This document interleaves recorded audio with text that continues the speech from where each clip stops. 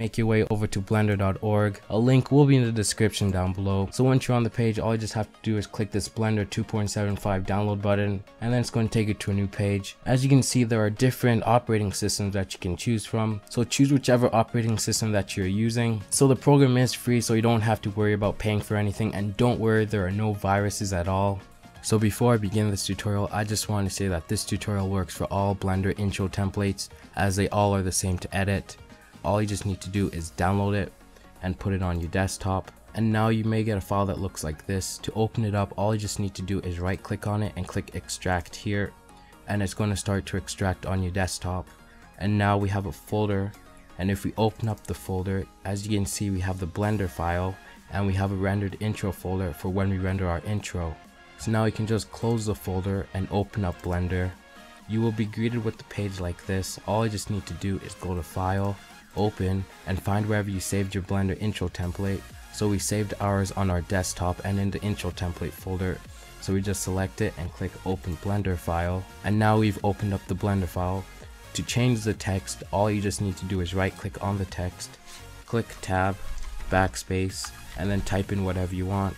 Click Tab again, right click on the other text, click tab, backspace, type whatever you want again, click tab, and now we've edited the text. If you like to replace the font, all you just need to do is go to the F in the top right hand corner of the screen, click on it, and if you go down a little bit, you will see this font drop down menu. And if you want to remove or replace this font, all you just need to do is click the folder right beside it, and now find wherever your fonts are saved.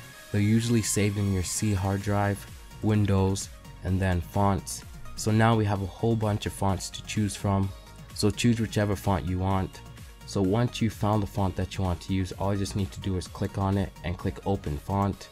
And now we have to do it for the other text too. Click on the text, go to the folder, and then find wherever your fonts are saved. And then select the same font again, click open font, and now we've changed the font. Now we have to render it. And to do so, all you just need to do is go to the camera and scroll down a little bit and make sure that this is MPEG and if you open up the encoding drop down menu and scroll down make sure that this format is MPEG-4 and go down a little bit and make sure that this audio codec is MP3 so now we have to change the output folder and to do so all you just need to do is click the folder right beside it and then choose wherever you want to save this. So I'm going to save this inside the rendered intro folder in our intro template.